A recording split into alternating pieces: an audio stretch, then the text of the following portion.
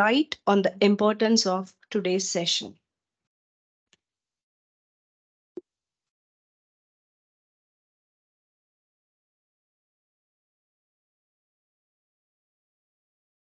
Thank you, Mrs. Srimati.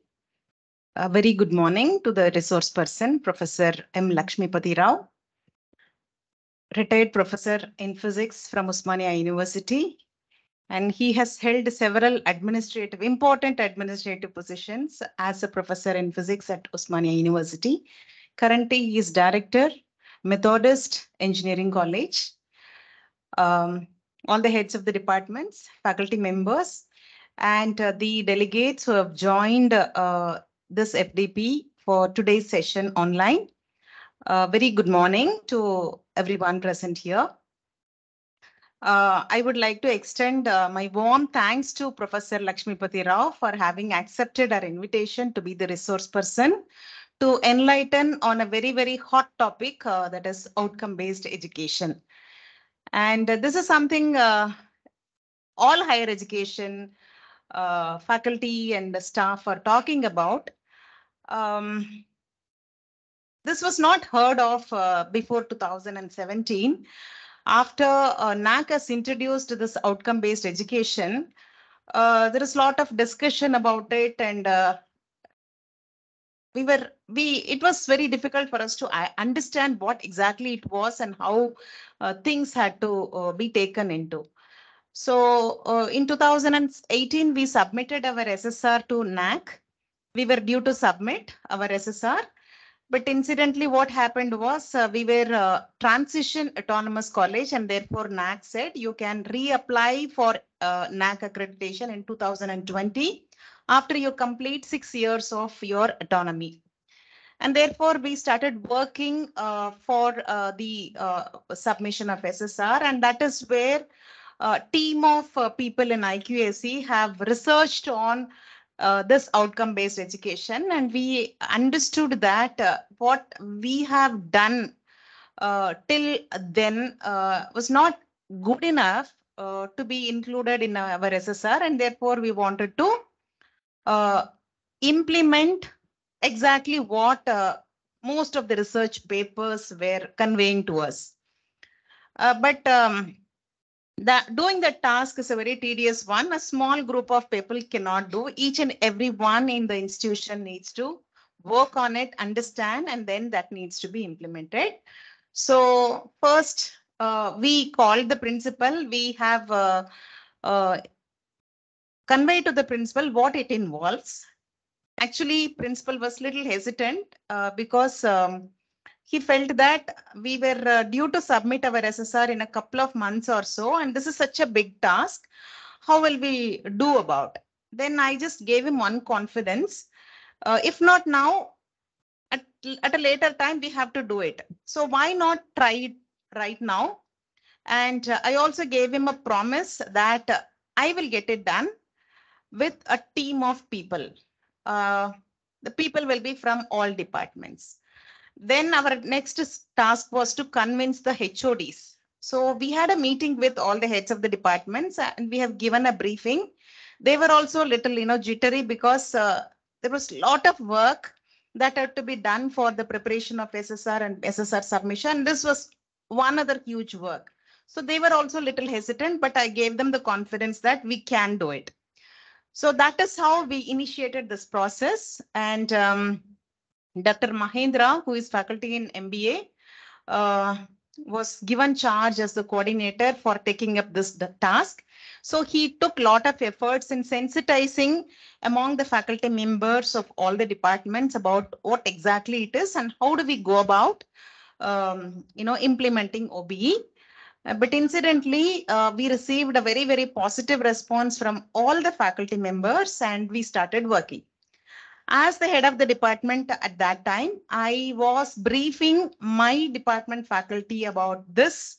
So one comment that I heard, that I received was, Madam, had we known why we have to frame COs for our papers earlier, had we had this clarity before, we would have framed our COs much better. So this was the response that we got. So anything and everything that NAAC is asking us to do, it has a purpose. We initially may find it very difficult to adopt to what NAAC is asking us to do.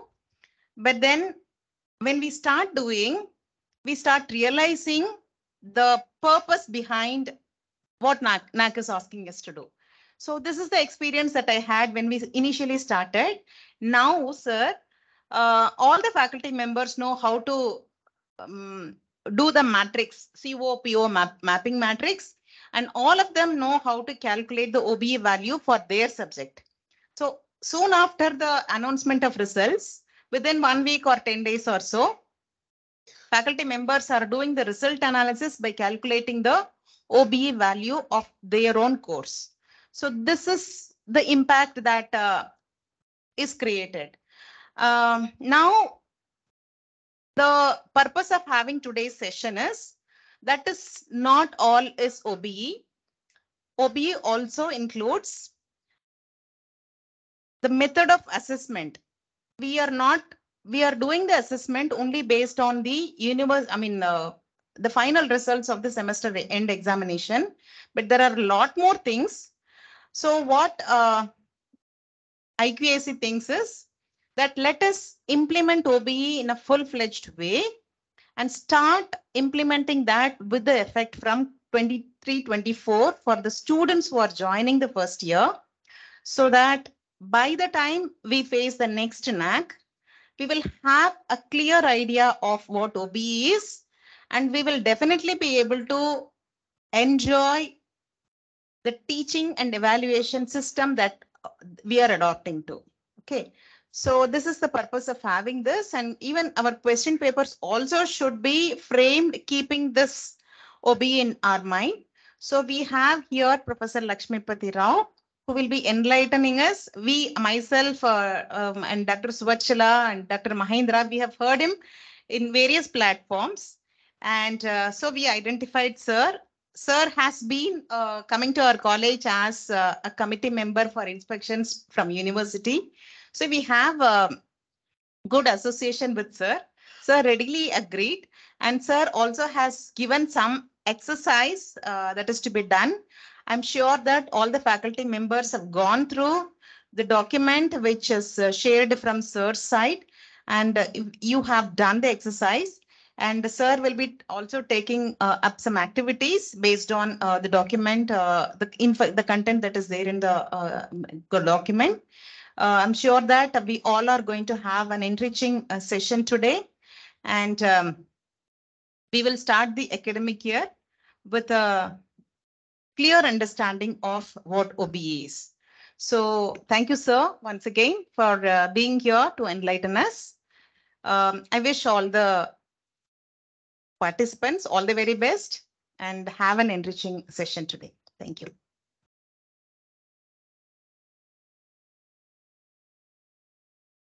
Thank you, ma'am, for briefing the awakening process of the importance of outcome-based education and evaluation process. I take this opportunity to introduce today's resource person, Dr. M. Lakshmipathi Rao, with academic qualification of MSc and PhD in physics from Osmania University, Hyderabad. Dr. Lakshmipathi Rao has joined University College of Science, OU, as an assistant professor in the year 1973 and superannuated in the year 2010 as a professor of physics. During his tenure of 37 years, he had held various academic and administrative positions as head, Department of Physics, chairperson, Board of Studies, controller of examinations, director academic audit cell, director internal quality assurance cell, OU. His notable contribution during his tenure as director IQAC OU, the Osmania University was reaccredited by NAAC with grade A in the year 2008. Dr. M. Lakshmipathi Rao has also served as an academic consultant with National Assessment and Accreditation Council Bengaluru till 2016. As an enthusiastic academician, apart from classroom lectures, he has also delivered live lectures on Doordarshan TV channel for MSc students of Dr. Ambedkar Open University, Hyderabad. Dr. M. Lakshmipathi Rao has authored two books on solid state physics. Dr. Rao has 60 research publications in reputed international and na- national journals and conferences. Dr. M. Lakshmipathi Rao delivered live 40 video lectures on solid state physics for engineering students of Rajiv Gandhi University for Knowledge Technologies, Hyderabad. Dr. Rao had delivered 70 talks on various aspects of quality accreditation, including outcome based education, as a keynote and inaugural addresses at national seminars sponsored by NAAC Bengaluru. Dr. M. Lakshmipathi Rao was associated with NAAC peer team visits to various universities as coordinator for assessment and accreditation during his tenure at NAAC. Now, may I request Dr. M. Lakshmipathi Rao, Director of Methodist College of Engineering and Technology, to take over the session on an overview of outcome-based education and assessment strategies of its effective implementation.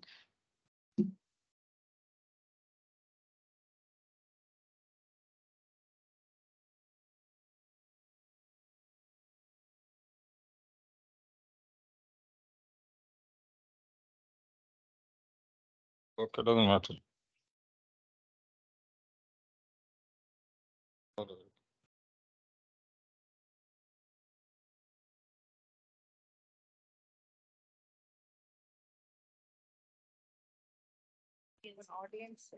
Offline audience. Oh, this, this will not be visible for them. Okay, I can reach them. My voice is big enough. Very good morning to one and all. I'm very happy to be with you this morning. And give a talk or organize a session on outcome-based education. Now, I started the journey in outcome-based education in the year 2016. You may be wondering, I am a professor of physics. How come that I am giving a talk on OBE? Because we wanted to implement in the college where I am working, engineering college, I started understanding OBE in the year 2016 and started the best way of learning subject is through teaching. I always believe as a teacher. So I started delivering lectures to my faculty on OBE. That is how I acquired some knowledge and which I have been sharing on various platforms like Academic Staff College. Some of your colleagues have also participated in that. And in various colleges, whoever asked me to deliver a talk on OBE, I readily agree and share my knowledge of OBE because this is very, very essential these days. Now you know the tendency of the students in the classroom. They don't want to listen to the conventional lectures. Chalk and talk, chalk and board methodology is no more acceptable to the students. And the marks we are giving, they have no value even for them.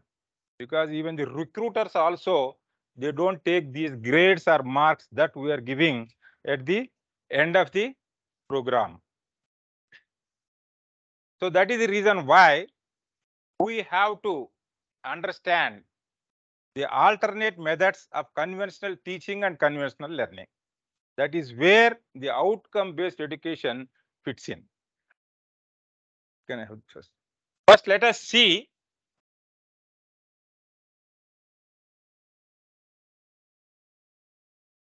Can I change the slide using this?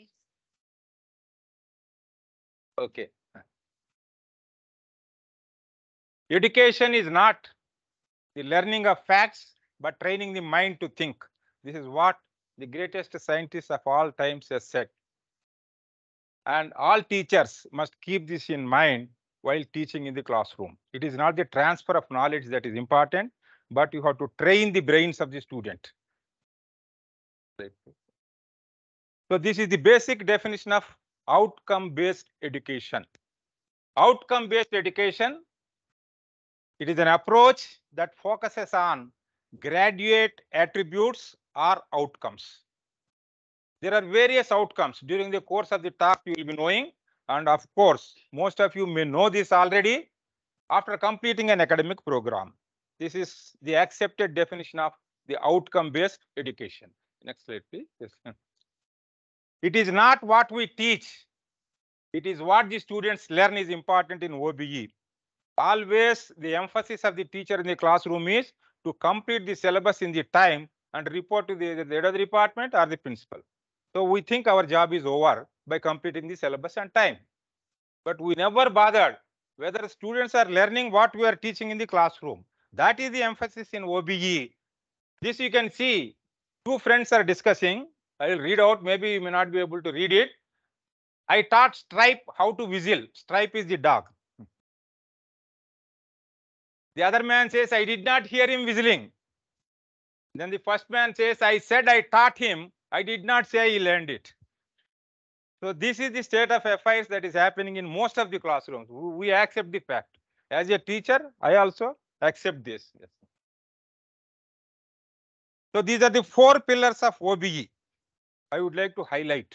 OBE does not mean only the calculation of outcomes, the course outcomes and the attainment of program outcomes. That is not what is required in OBE. There are many, many important things rather than just mere calculation of the outcomes. So these are the four pillars. These questions are asked under OBE. The first one, curriculum design. What do you want the student to learn? What is that you want them to learn? That is the first thing. That is the curriculum you frame. You frame the entire curriculum for a program. So this is what you want the students to learn. That is the first pillar. The second one, why do you want them to learn? Okay, I am teaching physics or you are teaching commerce. So why should they learn this particular subject or this particular course? This is the second aspect. That means there are certain outcomes that is expected of from the students after completing the program. So in order to achieve that, this is what you have to do. So these are the outcomes. This is the second pillar. And third pillar is how can best help students to learn it. This is the most important thing as far as the faculty is concerned, the pedagogy. As I told you, the conventional methodology will not work in OBE. So you have to change your approach in the classroom. This is called as the pedagogy. So what is our aim? We have set a particular curriculum based on what is required from the students after completing the program. Then how to achieve it and what to achieve we have defined through outcomes. Then how you help them in achieving the outcomes that is called pedagogy. That is important in the classroom. If you say that I have completed the syllabus, no, there are no takers for that. You must tell whether your students have achieved what they have to achieve. That is important in OBE. That is what we are measuring as attainments through the assessments that you have. So that's why the assessments also in OBE are totally different from the regular assessments that we have been following all these years. So this is the role of a teacher comes in this pillar, the pedagogy. How you are helping the students to achieve what they have to achieve. That is already specified through outcomes. And the last one is how will you know what they have learned? Okay, you are teaching it. You have approach, you have some pedagogical approaches. So you want to know whether they have achieved or not. That is done through the assessment and also attainments. So these are the four jargon that go into the outcome-based education. Why OBE? Madam has already explained why we have to think in terms of OBE. When I was student or when I was teacher, I never heard about OBE. I retired in 2010. But now you have to follow OBE. There is no other go. So because not only that NAAC insists, but even otherwise, it is essential for our students to solve the unemployment problem. We must make our students more employable or turn them into entrepreneurs. They should start, have their own startups. For doing all these things, what we have been doing all these years is not sufficient. So that's why the approach of OBE is very, very important. That too after NEP 2020. Yours is an autonomous college. In a course of time, you have to fall in line and think in terms of NEP 2020. So NEP 2020, it gives utmost importance for the outcomes. Outcome based education, maximum importance is given in NEP 2020. That is one reason. Of course, accreditation is equally important for any institution because the public perception changes with the accreditation process. If we say this college is accredited with A grade from NAAC and also NIRF, if it is figuring in first 100, then the perception changes. Good students look towards such colleges. So that is the reason, that is another reason that we have to obey this or follow OBE. And also, what the genesis for this started in the year 2014. Actually, this OBE is introduced uh, or uh, we are India is a signatory for the Washington Accord. Washington Accord is signed in the year 1989. Some 20 countries have joined together and entered into an accord. According to that, if they implement OBE in their countries for the higher education, then their degrees will be recognized and people can exchange scientists or other graduates into these countries easily, very easily. That was that was the initiation, 1989. And India took so much time and became a signatory in the year 2014. From then onwards, we are talking about 2014. You also have MBA program in your college. So you also should get accredited under OBE by NBA, National Board of Accreditation. If you get accreditation under that, you will have a different footing, different image. So that is the reason why, this is another reason why you should bother about OBE. Next. And you may think, okay, always I am explaining this is useful to the students, useful to the students. But in what way that is beneficial to the faculty? That is also important. I should know. You will have better understanding of what is to be taught in the classroom. That is very, very important. Improved course design because the outcomes are defined. Earlier, while framing the syllabus, only knowledge, we used to give importance to the knowledge and research areas. So depending upon the demands of the research, you have to frame the curriculum and also the syllabi in various subjects. Now it is not the case because the outcomes under OBE are defined for all courses. What is required of the students? Accordingly, we are framing the curriculum. So that is first advantage, improved course design and then clear instructional focus. What is to be taught in the classroom? You will, you will be highly focused in this because not only the students, the faculty also should understand what are these outcomes that are required. What a student can do after attending my classes. You have clear cut idea. So that means your approach, your pedagogy, your teaching methodology will be highly focused under OBE. This is another advantage. The third advantage is enhanced assessment practices. Earlier, we are giving maximum importance to the, to start with, we have year-wise examinations. And now, at least we have semester-wise examination. And in semester also, after some time, internal assessment was introduced.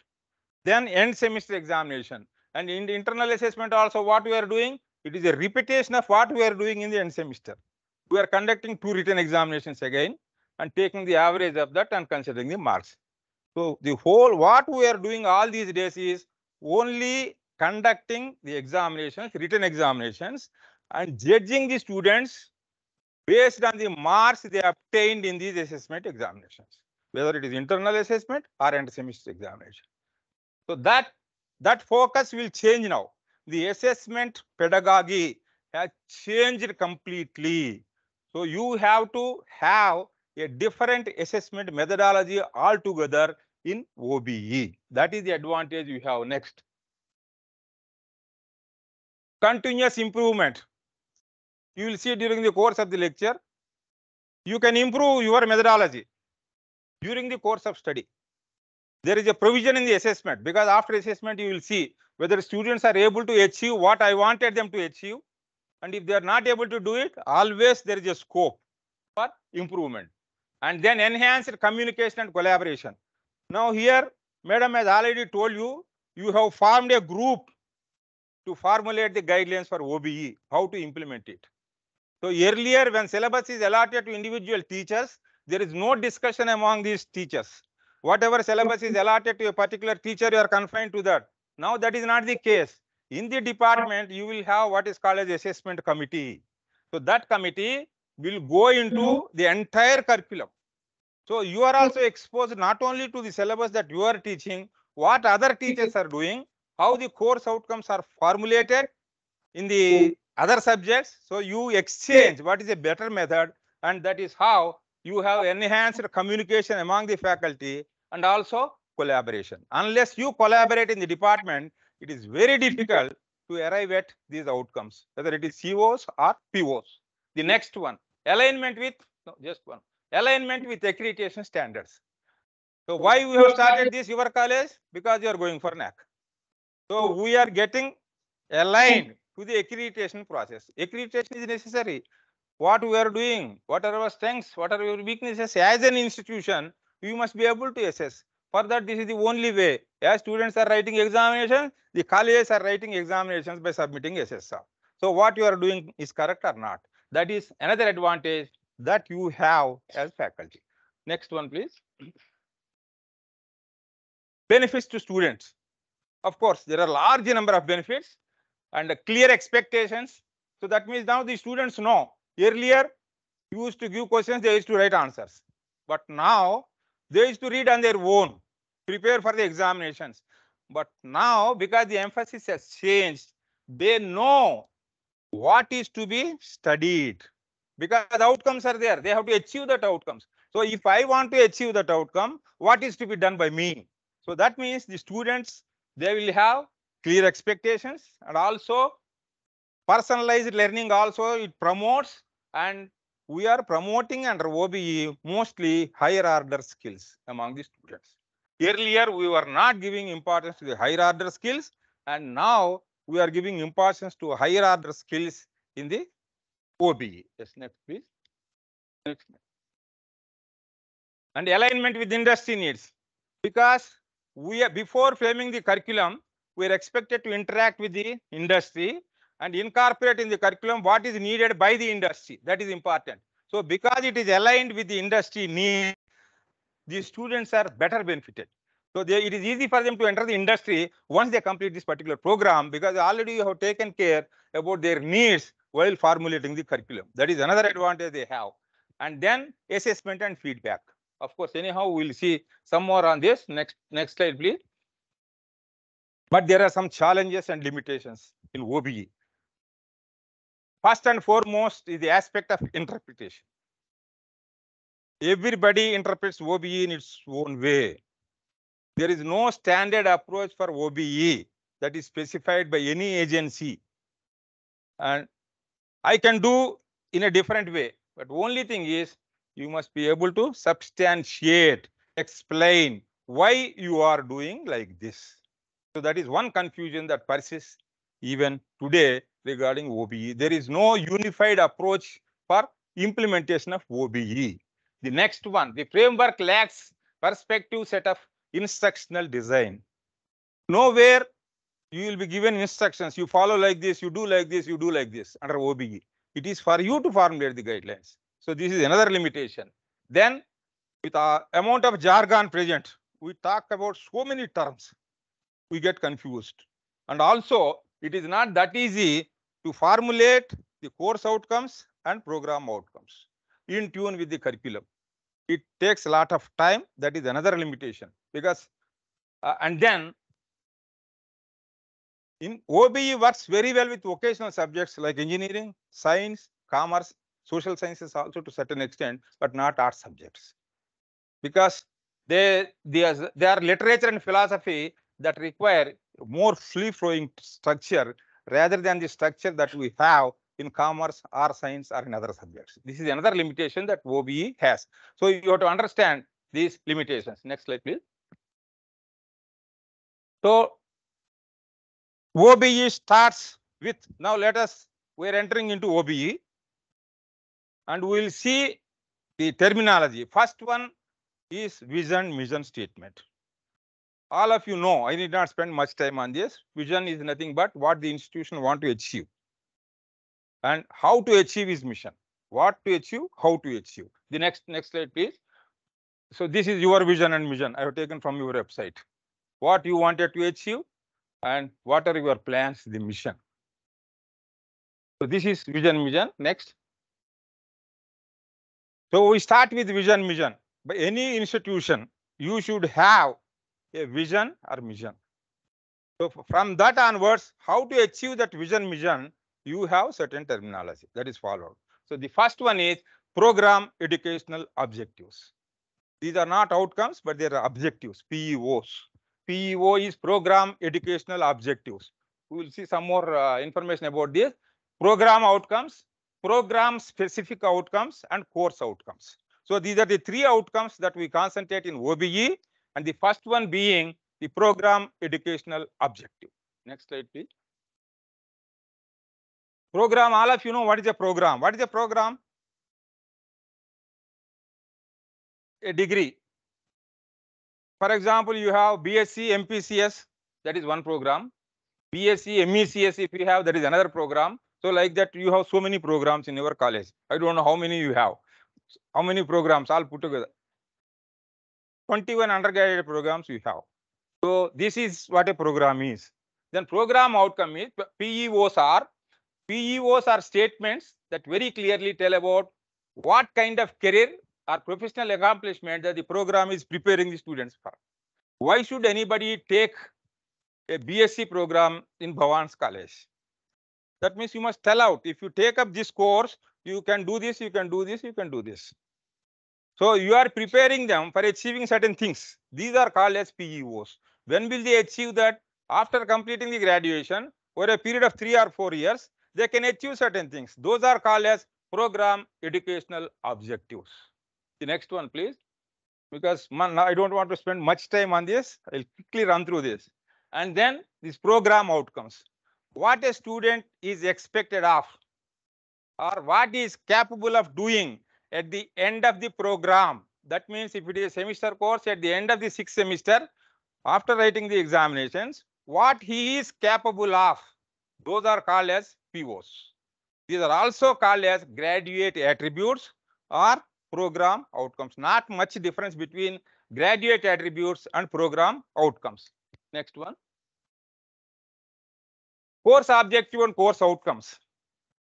I would like somebody to answer what is the difference between course objective and course outcome? Can anybody tell?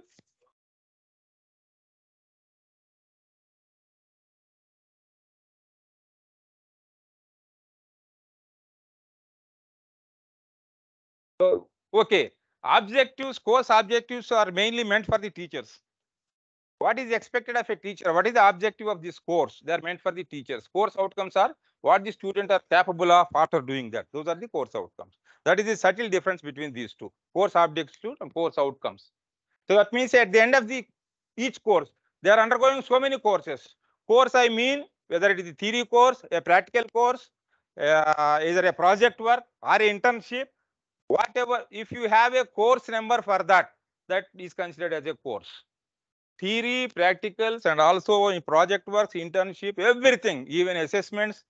And if you have some course name, whatever is having course number is there, that is called as a course. So at the end of this course, what is student is capable of, that is called as course outcome.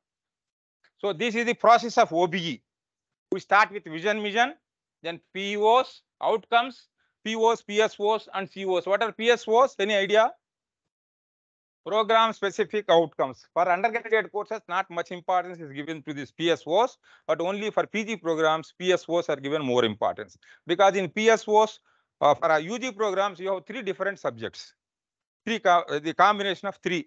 So which PSO you give, so they get confused. So that's why not much importance is given for PSOs as far as UG courses are concerned. Program specific outcomes.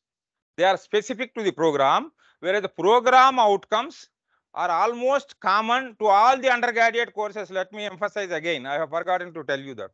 Program outcomes in general are defined for all the UG programs. Only some changes are made depending upon the program that you are undergoing. That is the difference. Whereas program specific, it is specific to a program. BSc MPCS will have different PSOs, MECS will have different, BCom computers will have different PSOs. Whereas POs are not like that. They are more general. And then from their assessment criteria, results analysis and attainment of COs, then attainment of POs, and uh, identify action and implement and realize the improvements. This is the jargon of this OBE, the whole process. Next slide, please. Now, one important aspect, everybody should understand this, and most of you know about this. Bloom's taxonomy. Earlier, only education people used to talk about Bloom's taxonomy, not the other faculty. Now, everywhere, wherever you go, you have to give utmost importance to Bloom's taxonomy. Bloom's taxonomy, this is the tool that can be used to incorporate critical thinking questions and activities into the classroom. It changes the entire pedagogy. The approach of a teacher, how we should be in a classroom also, this helps us. Bloom's taxonomy. How there should be assessed, it will help. How you have to formulate the syllabus, it helps. How the assessment should be there, Bloom's taxonomy helps. So Bloom's taxonomy plays a vital role in all the activities of teaching learning process, including framing of curriculum, etc. So there are six categories. Next, next one, please. So this is the revised Bloom's taxonomy. And uh, it starts with remembering, understanding, applying, analyzing, evaluating, creating. So most of you are familiar with this. I don't want to explain much further here. So these are two types of cognitive skills. So these things, uh, up, remember, understand, and applying, they are mostly associated with lower order thinking skills, whereas the top three are higher order thinking skills. And Bloom's taxonomy is incredibly flexible and can be used in conjunction with most teaching philosophies and teaching styles. So it can do many things. It is highly adaptable and versatile, making it well suited to a number of different tasks. Let us see what are the tasks the Bloom taxonomy you can associate with. The first one is the curriculum and course planning. The second one, setting learning goals or objectives. Third one is creating learning activities, creating assessments and evaluation. As I told you, in handling all these three, all these four, your Bloom's taxonomy comes in handy. Next slide, please. This is the curriculum planning. So in while writing, okay, you have formulated the curriculum. The draft you have in physics, you should have one, two, three, four, so many courses in this. So in each course, you formulate the syllabus. So while formulating the syllabus, always I start with the lowest level of cognitive skill because they have to understand, isn't it, the subject. So I develop the syllabus based on the taxonomy level. I start with understanding level, slowly take it is apply in the next unit, then create and etc. etc. So this is how the Bloom's taxonomy helps in formulating the syllabus. Next one. I will leave this with your IQAC coordinator. There is no problem. You listen to me, you need not note down. It will be circulated to all of you. Hmm. There are no patent rights. You can use this. so then setting learning goals or objectives. And Bloom's taxonomy also will help us in defining the POs because always it starts with an action verb. What a student is capable of.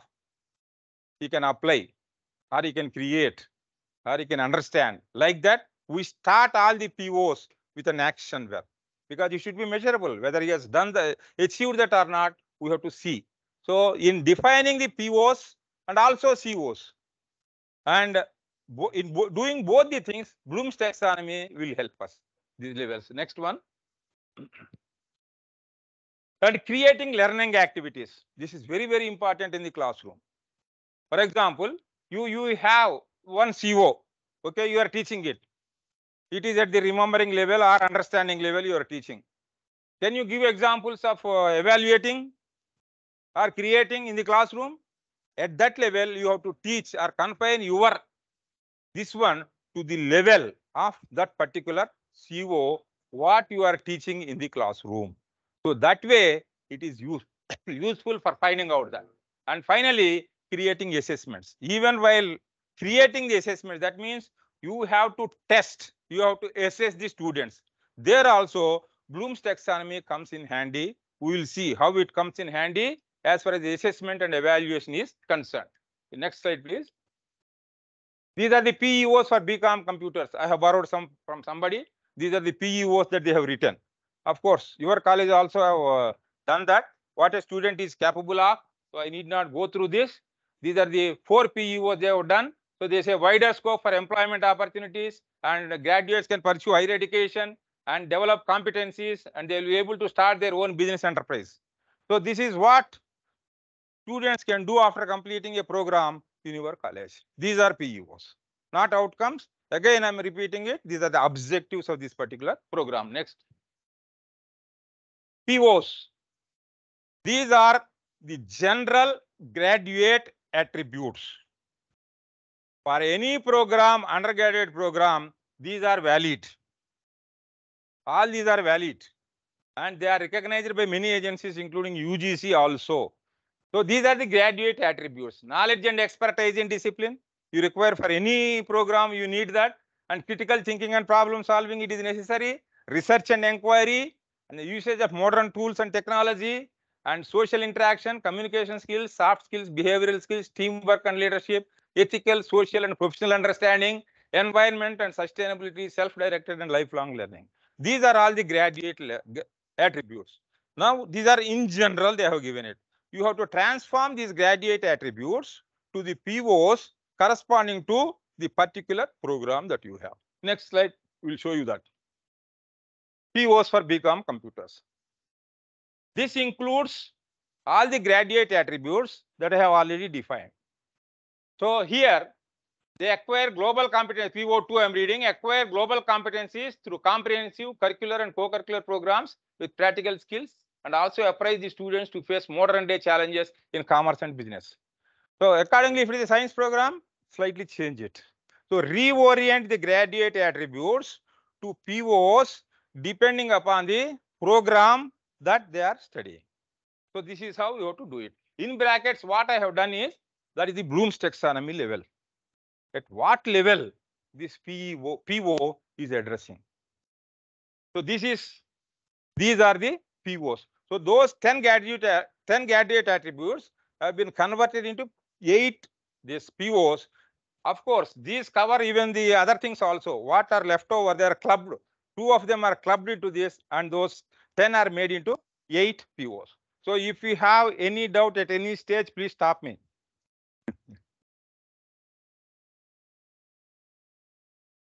PSO is different. PSO separately you have to write. PSOs could be three, three, three to four maximum. That is domain specific. PSOs are domain specific, whereas this is knowledge. It includes knowledge, skills, and attitudes. These are the three things that go into POs. PSOs are only domain specific. Yes.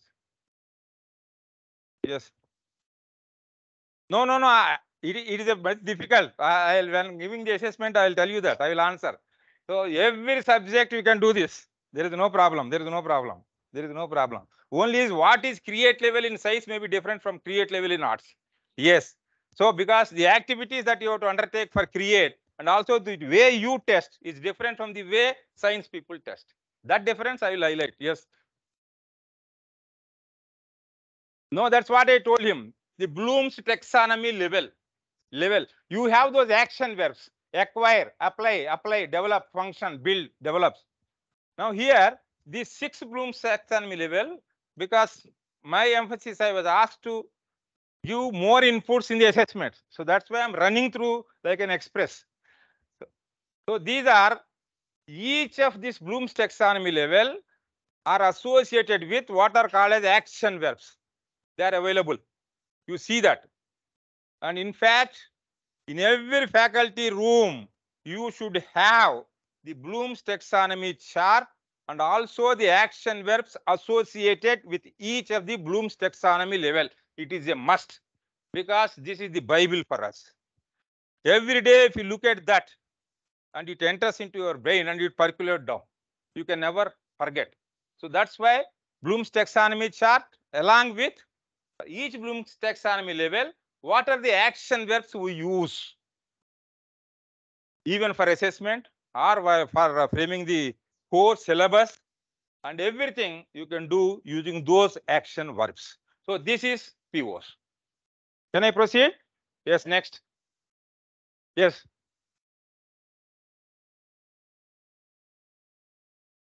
Right.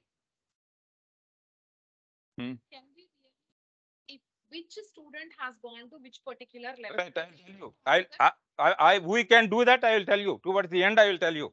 I will address, answer your question. That means student-wise attainment you want to find out, PO attainment. One person, one student, yes. Right, right. I'll, I'll, I'll tell you. I'll explain that towards the end. So next. So preparation of the course outcomes. There is no rigid rule that you should have only four or five or six, as I told you. There are no limitations. There are no instructions. You you can have four, you can have five, you, you can have six. But it is better to have some uniformity in the college and have a fixed number of COs for all courses, all programs. So it could be four or six, uh, doesn't matter. And uh, the course outcomes should guide instructional design. Please, I'll read it. This is very important. How to prepare course outcomes. This is very important for you. Remember that course outcomes should guide instructional design. How you have to design your instruction in the classroom, in the pedagogy, your course outcome should help us. Assessment strategies and learning activities throughout the course. This is very, very essential while framing the course outcomes.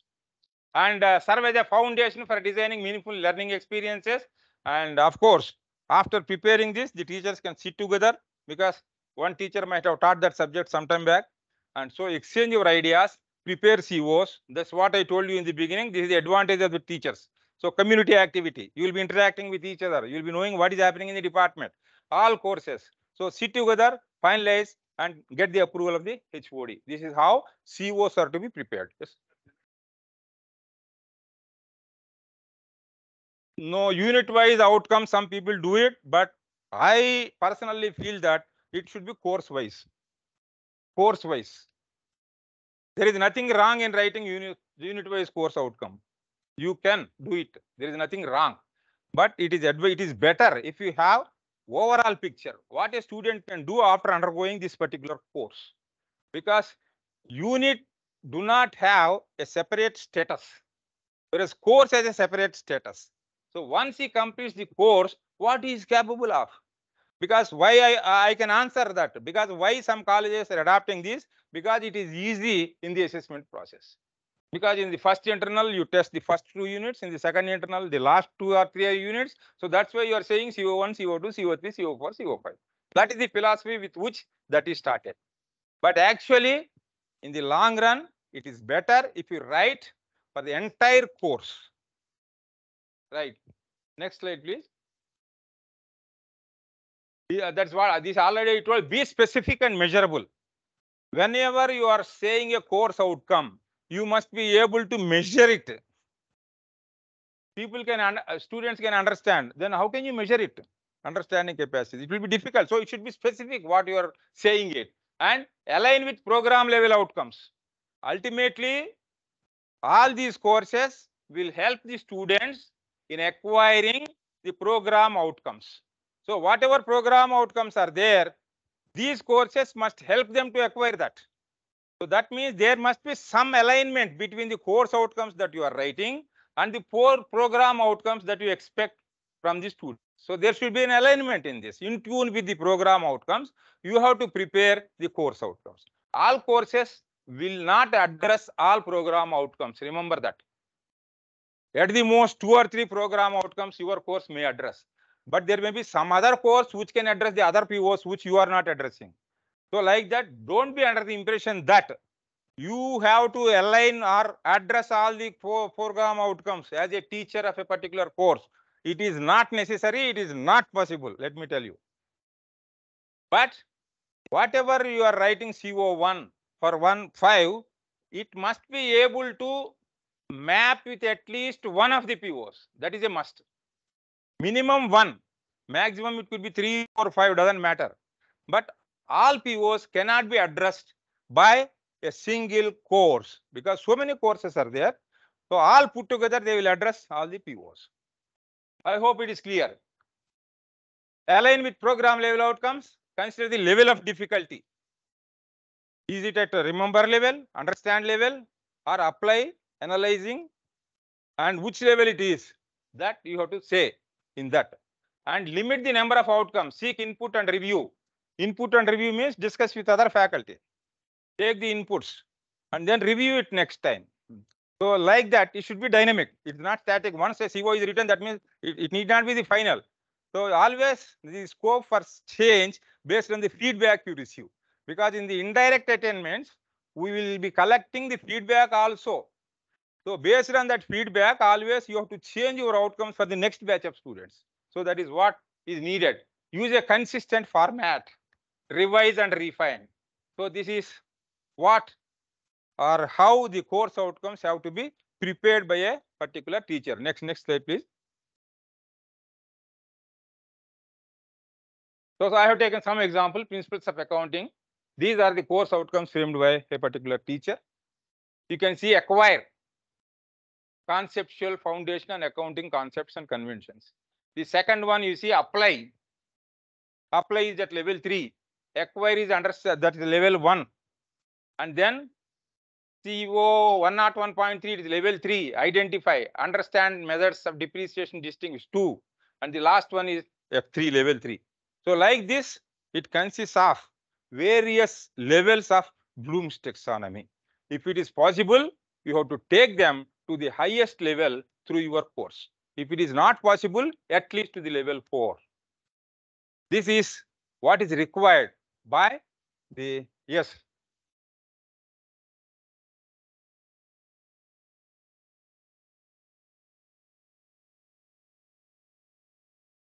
Mm, mm. In fact, the ideal case would be not to have remember, understand levels in course outcomes. Remember, understand levels can be excluded from all the course outcomes if it is possible. Because without doing this, they cannot apply, they cannot analyze, they cannot evaluate, they cannot create. So it goes without saying the first two levels. In fact, they should not figure in the examinations. That is an ideal case I am talking. So to start with level 3, even your questions, level 3 you start it. Yes, you, you can do that. Apply level straight away, you can go that. Absolutely, there is no problem. Yes, next, next slide, please. Now comes, as I told you, they must be aligned with the POs, right? You must be adapting this, isn't it? All of you are familiar with this mapping, COPO mapping. How many are not familiar? Please raise your hands. I want to know how many are not familiar. Yes. COPO mapping. What is the philosophy of this? Always I tell my teachers also in our college, you should not bother about how to do it. Why to do is important. Then only we will get the total insight into OBE. Some colleges follow some softwares. If you enter this, it will calculate POs, attainment, assessment, etc. Right? That will not help you in any way as a teacher. We must do on our own. So ultimately, our aim is to train the student to acquire the program outcomes through various courses that we are offering in the program. So these outcomes, ultimately these POs must be, there should be alignment between these two. So that is called as mapping. Mapping of course outcomes with program outcomes. Next, please. So these are the COs for the course that I have mentioned, and these are the POs. Take one CO as a teacher, and I I want to know what method you are following for uh, this mapping. Let somebody explain me who is familiar with this. How you are mapping?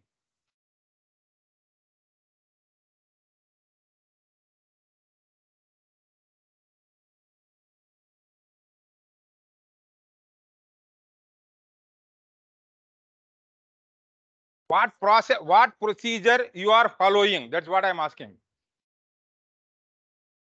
Yes.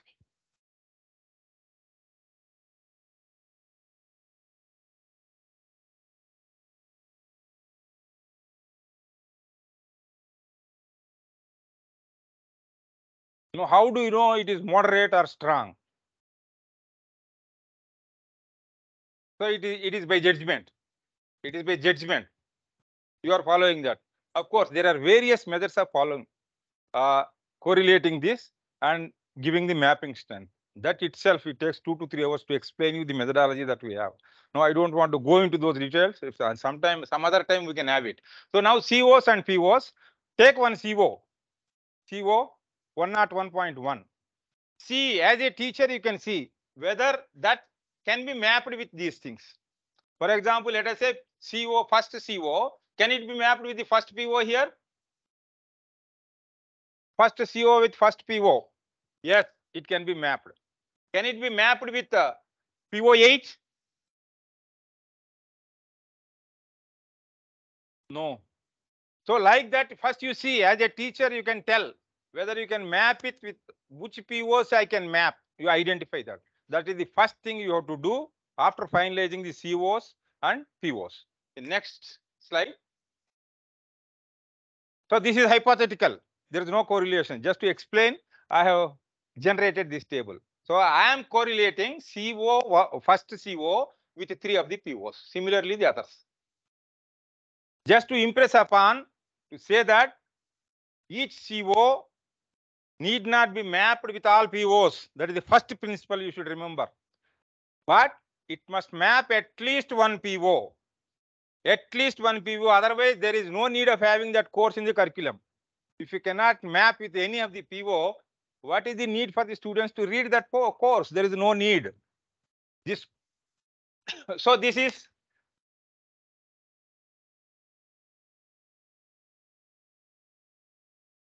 I'll tell you. I will tell you when I come to that. For one course, this is only for one course. So, so one it is not mapping. PO5 it is not mapping. Doesn't matter. Don't bother about that. Don't bother about that. But whatever POs your course outcome is mapping, you mark it. Yes. Because all put together afterwards, as head of the department, they will look into that. Whether all the POs are mapped or not. If they are not mapped, what is to be done? Yes. Yes, some courses or some topics in this course will come at uh, a later level after combining all these things. What she says is also correct. So if there are any gaps to address or if they are not able to address some of the POs, you offer add-on programs, certificate programs, and also encourage them to take up NPTEL program just to fill in these gaps. So that is the need for having courses over and above the curriculum. Why you should have, anybody ask, this is what you can tell. The next slide, please. No, I'll, I'll, I'll, I'll, the next slide is that. Okay, next. Assigning weightage to the particular COPO mapping. The weightage is to be given as one, two, three, right?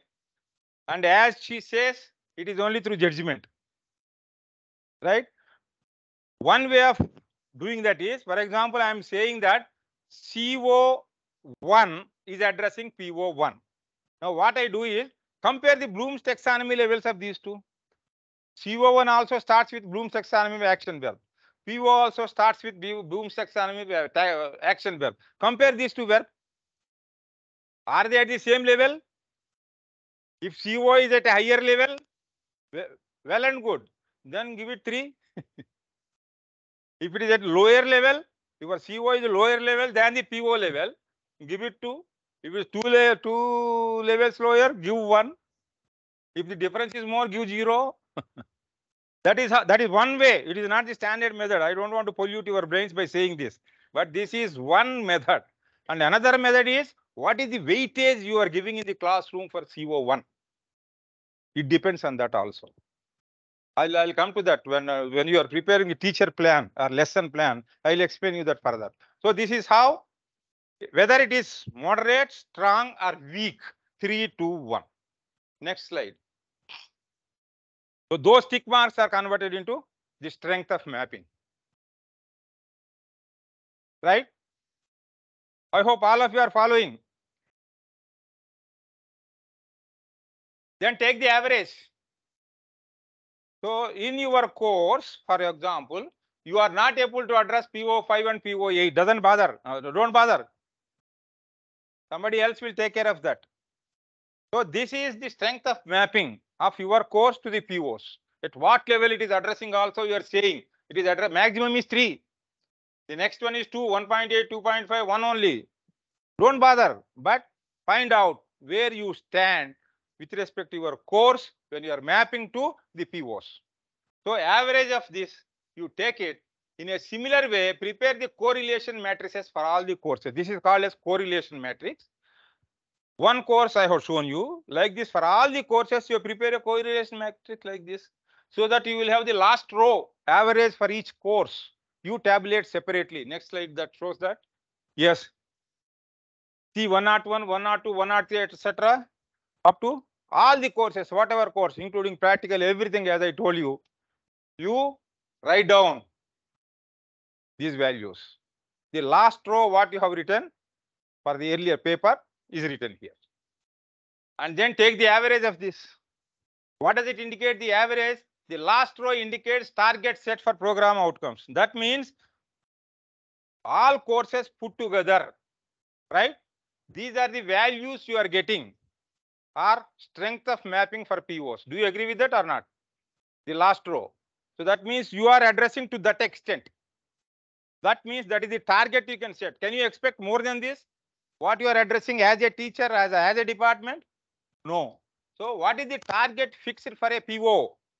It is given by the average of this particular, the last row. PO1, the target set is 2.7, PO2, 2.9. So that when you calculate the attainments, you compare that with this, whether you have attained or not. Because we could address only to this extent, we expect students maximum to attain only this. Maybe some students may be there, which are more intelligent on their own, they can cross this. But the limit that we have set is this. So if it 1.3, are you happy with that? 1.3? When you expect 3? No. So for improving that, you have to offer some certificate programs, add-on courses, or some other activities. Consider that as a course and add that here. Then take the average and try to bring all these values nearer to 3. That is a quality institution. A quality institution is one which can address all POs to the extent of 80 to 90 percent. For that curriculum, over and above the curriculum, you have to address because lifelong learning, environmental protection, there are so many things. Social interaction. So because adoption of villages that will help, that may not be there in your courses, but add it up afterwards. After computing this, add all these activities and then bring this to the satisfactory level to the extent of 80%. This is what is to be done. Next slide, please. Next slide. Yes.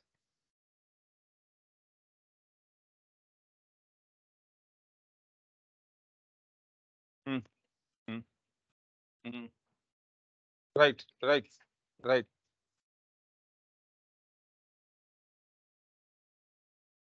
Oh, yes, that also credits will be there. Credits will be there. In assessment and attainment, you take that also into consideration. Yes.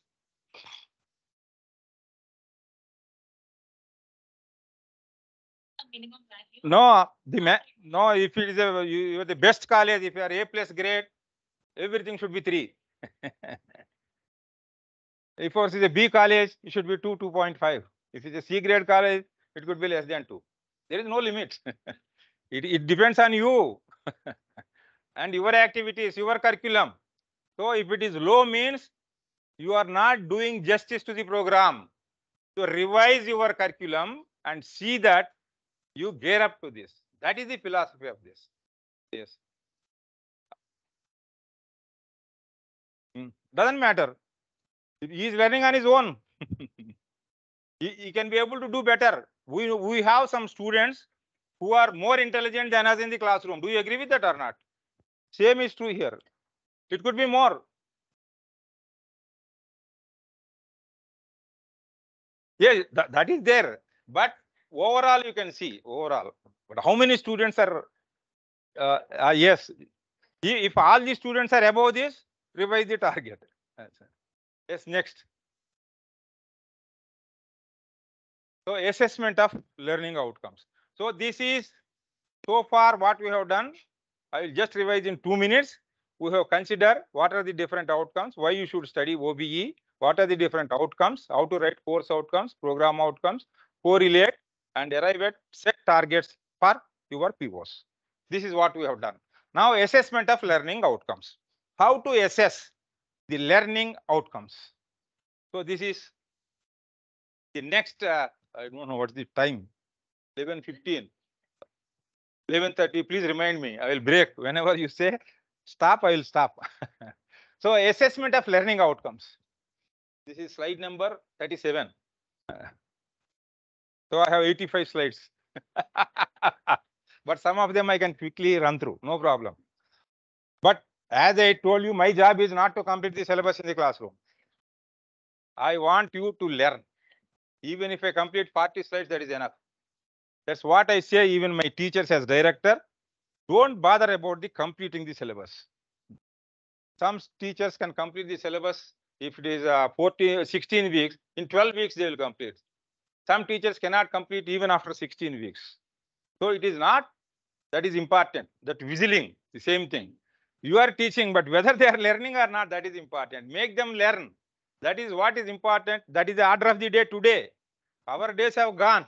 When we were telling, I used to take class for three hours continuously in MSc.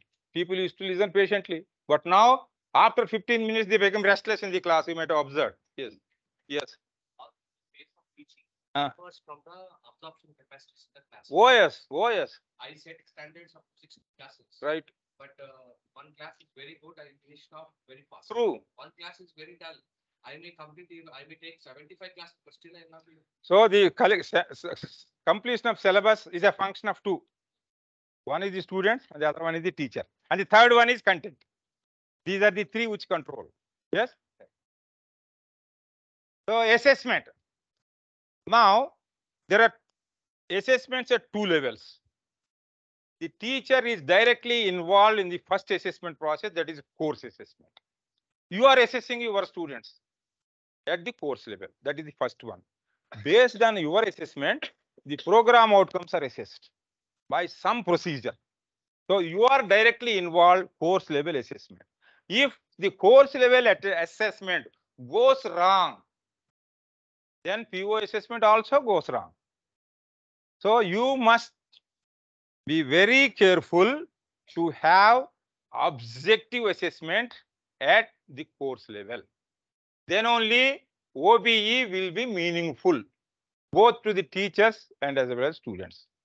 I cannot boost up marks just like that because I should get a better value of CO attainment. That will spoil the entire environment of OBE. So please be careful about this. The assessment at the course level is very, very important, crucial for determining the PO attainment. Ultimately, we are interested in PO attainment. That can happen only if he attains the CO outcomes, course outcomes.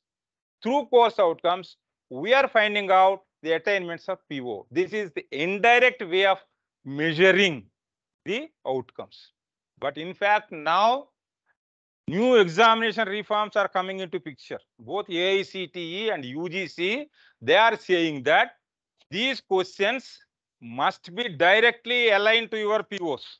Questions are to be aligned with POs. POs. Then whatever you are doing assessing, you are directly assessing PO instead of the indirect method. But now people have not understood the direct method yet. So that's why I don't want to complicate and talk about the direct method of assessing. So because PO is PO, what are the competencies that students require in order to achieve a PO? They have defined it. For PO one, what are the competencies? These are called the competencies the, should, the student should possess to acquire that PO. And how we can perform under these competencies. These are called as performance indicators. So based on the performance indicators, you set the question paper. They must be aligned with the performance indicators in various competencies so that you can compute POs attainment directly from the questions, question paper that you are setting. That is the next level. We are not interested to go that. Okay, this is program level assessment. Next. By looking at the question paper, for example, I come for inspection. I would like to see the question papers. By looking at the question paper, I can talk about the quality of the institution. The quality of the institution depends upon the quality of the question paper, not the answers they write.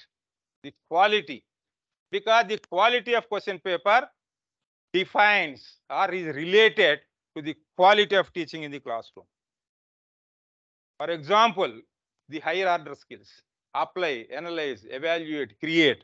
If you find in examination questions without addressing that in the classroom, can you ask questions like that?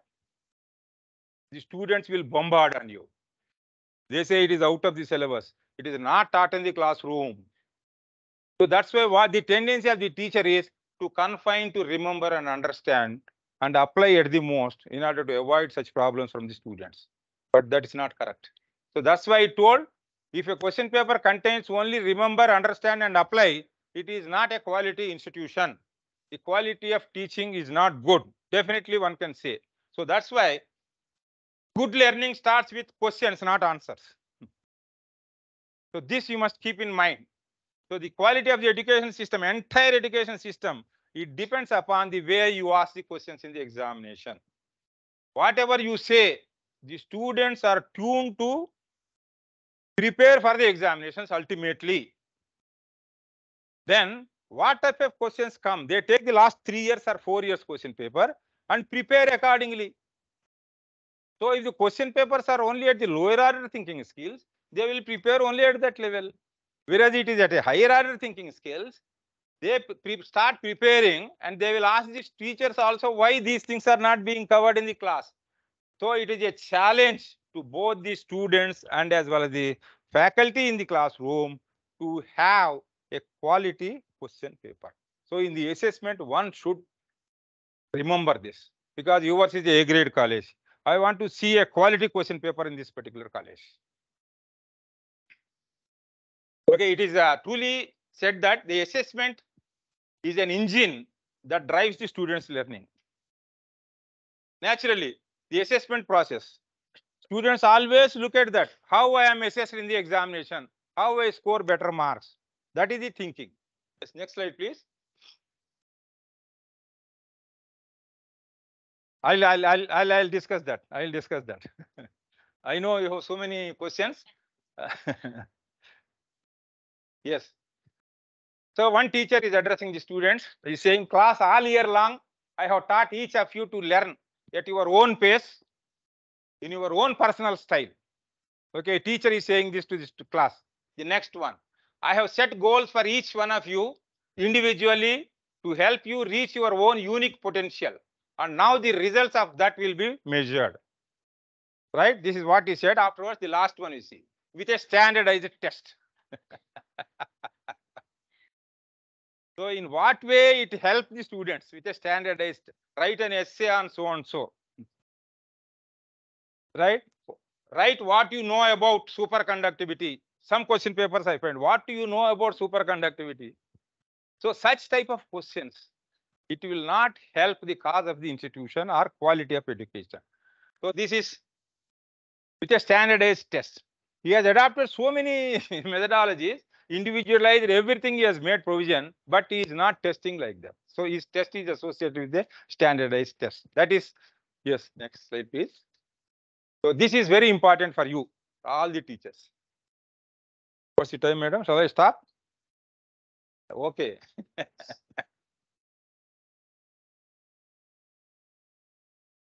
So this I call it as, it may be call it as a lesson plan or teaching diary, whatever you call it.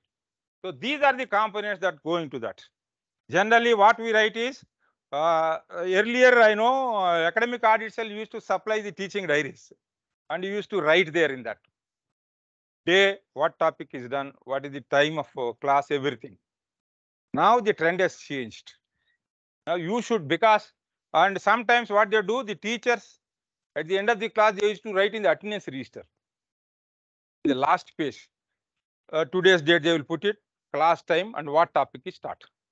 That is called as teaching diary. But this teaching diary or lesson plan is different from that in outcome-based education. So this is what is expected of in outcome-based education. So your principal or heads of the departments, you must insist that teachers maintain this. This will help you in many ways to become a quality institution. I always believe that the teachers contribute to the quality, not the infrastructure or not the administration. It is only the teachers who contribute to the quality of the institution. So this is what we expect. Topic. What topic you are teaching? Which course outcome it is addressing? For example, I teach one topic today. What is the course outcome? Everything should be related to whatever you are talking in the class, whatever you are teaching in the class, it should be related to one of the course outcomes. Whether it should be CO1, CO2, CO3, CO4, anything, right there, what CO. And then pedagogy or learning activities. What activity? Is it talk? Or PowerPoint presentation? Or demonstration? Group discussion? Seminars? What is the activity? That activity you have to mention for every class because from teacher centric we have been habituated to teacher centric methodology. That means we teach, you listen, right? But it should be student centric learning. So unless, as I told you, after 15 minutes, the students become restless in the class. They'll start murmuring. If you allow mobile phones into the classroom, the last bench fellow will uh, type some SMS to the person sitting in the first bench. Shall we go to a matinee or shall we have lunch or dinner? So these are the activities we regularly see. So this is pedagogy, learning activity. What learning activity? That's why wherever I go, I say, allow them to get the mobiles into the classroom and give activities and use them mobile phones. There are some quizzes. You can immediately, I'm teaching some topic. I'll, I'll put one, how to map CO to PO. I will ask a quiz question. There are various tools that are available and using, using that tool, you can type the answer and the teacher can know what are the answers already that are given by the teacher. So you are guided by that. If majority of them have understood it is all right. If it is wrong, you can again teach that. That is how you can do it. There are various tools available for conducting quiz online quiz immediately using their mobiles at no cost. Yes, whatever it is. So what I say is after 10, 15 minutes, you stop for some time and give them one or two questions. Assess them then and there. What is taught during these 15, 20 minutes, whether they have understood or not. By knowing the answers, because they will be listed. So by knowing the answers, we know that I am not doing justice. They are not following. When they are not following, there is no point in continuing the topic. It is just to cover the syllabus. No, that is not my aim. So revisit and help it. That is what you can do. So pedagogy, what pedagogy or learning activity you are adopting, that is to be written for each class. NAAC also asks, you have two, under criteria two, various techniques, pedagogical approaches, student, uh, student-centric learning activity methods. They will come here, automatically they will come here. And then PO number to which CO is mapped. So that what happens is, this will be registered in your mind, this mapping also. Which PO this CO is addressing, that also register, uh, right there, it is not difficult. And taxonomy level, at what level your topic is covered on that day. Is it remember, understand, or create, or analyze, evaluate? That level also you write there. And also, what assessment, assessment method can be used for this? You write there. Is it internal test? Or some quizzes? Or assignments? Or some other way of testing it? Group discussions? Or you ask them to come uh, presentation, seminars? What are the activities you are involving as assessment methods? That also is listed. So this, if you can do that, try to habituate to complete this, then it will be useful to you in improving the quality of the institution. So this I call as teaching diary. What the student, uh, teacher is doing in the classroom every day, you have to highlight it.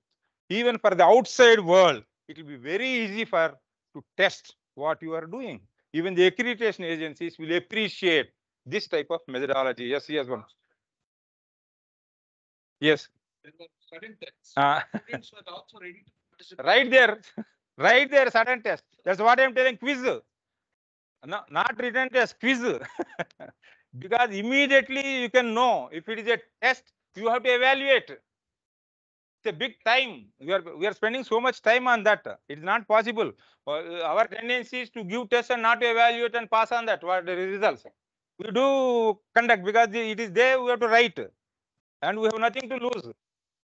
But they, they have nothing to gain by writing that.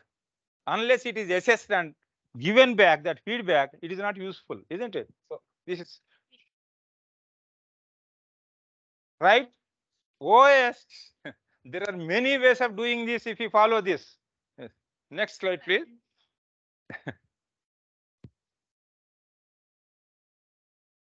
Oh yes, definitely you can write it.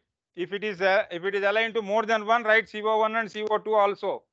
If it is more than PO, PO1, PO2 also you can write it. It is possible.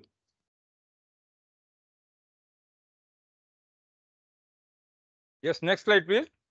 Are we breaking? Okay, I don't mind continuing. Right.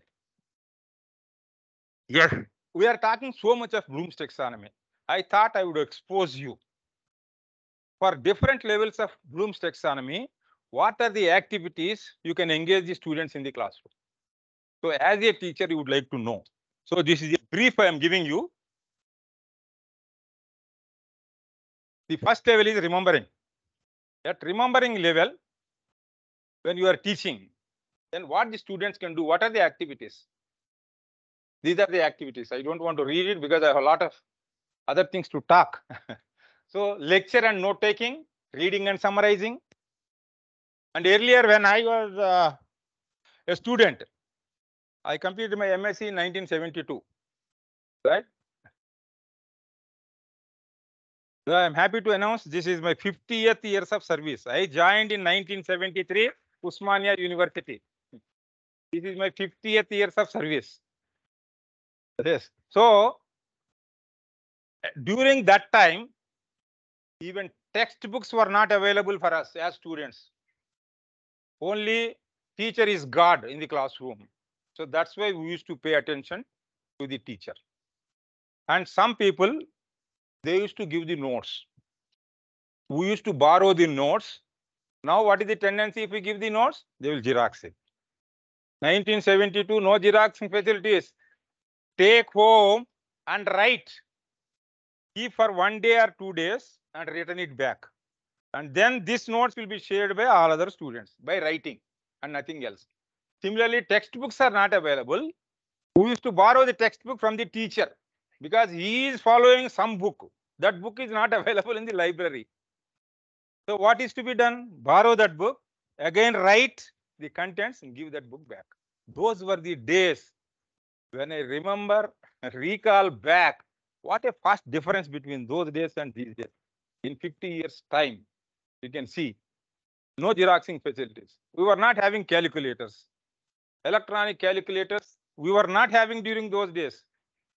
And when we came to MSc, we used to have mechanical calculators, like type machines. We used to press the numbers. And then one number you press it. And if you want to add, rotate, there will be a lever in one direction, subtract in another direction. You will be laughing at it, but you see. So that's always I say my students also, we are lucky because we are traveling with the technology. Yes. That also we know, this also we know. These people, current generation, these are called netizens. They don't know what were the days earlier. How better they are placed now in the education field, they don't understand. They take it for granted, for granted. So if you understand this difference, then definitely you can do wonders. So I am traveling with this. So I want to learn. Age is not a bar. So you have to learn continuously. You have to update your skills. Otherwise, there is no way you can uh, serve the society. So this is remembering lectures, note taking, reading, summarizing, memorization exercise, quizzes and tests, worksheets and practice exercises. These are all the activities you can involve them, engage them in the classroom itself at the Bloom's taxonomy level one. Next. So this is second level. Engage in group discussions, create analogies to relate complex ideas to everyday experiences, develop and answer questions, teach the material to someone else. So you ask one student to take a class for five minutes or 10 minutes. What you have told in the last class, you call one student and ask him to revise what you have done it. So he, that's how you promote the activity of understanding. Unless he understands, he cannot do the job. So you must think about these things. You must come out of the conventional method of teaching and start adopting what is demanded by OBE. OBE demands that. So that's how you can promote or improve the quality. Next, next one. Yes, learning activities for Bloom's taxonomy level three applying case studies and analysis, simulations, experiments, hands-on activity, problem solving exercises, design project, and collaborative projects, etc. So when I was working in Nizam College in the year 1983, I was teaching Faraday effect and Lenz law of induction. Physics teachers can understand.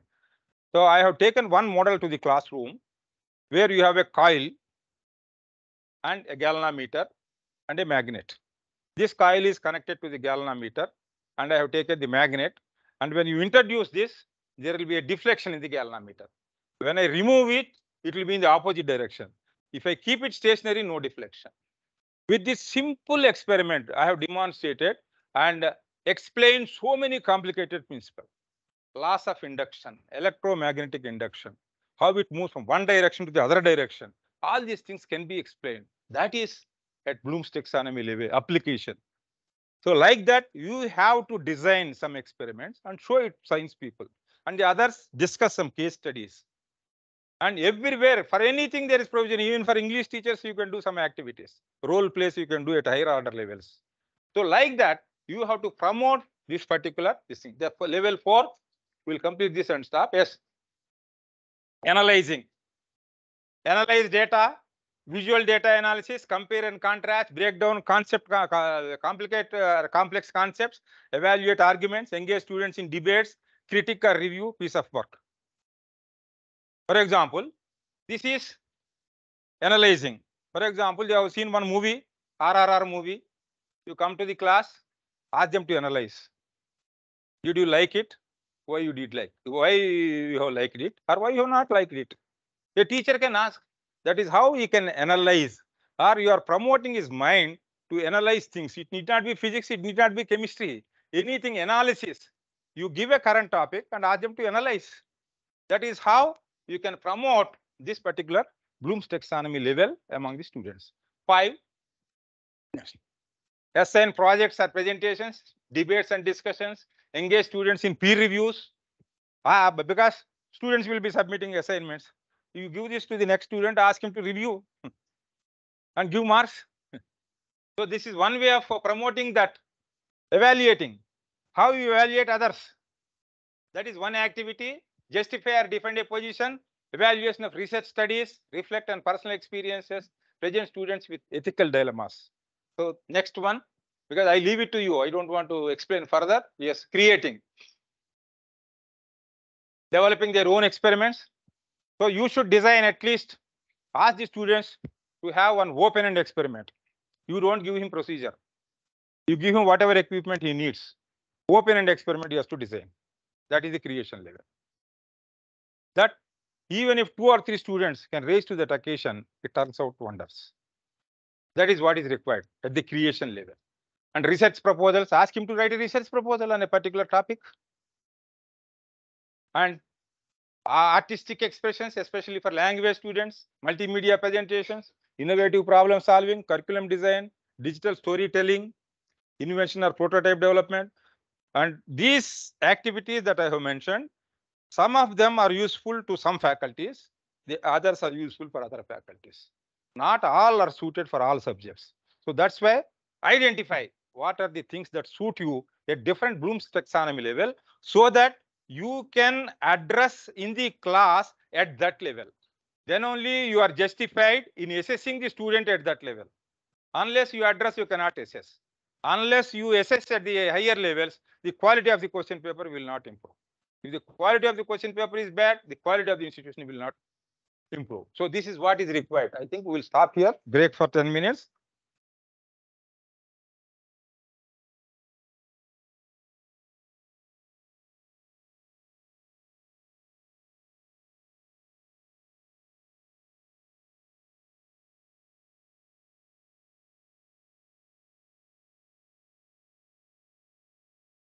With the permission of the chair, we are breaking for 10 minutes. And I expect each one of us to join exactly by 11:50. Thank you so much.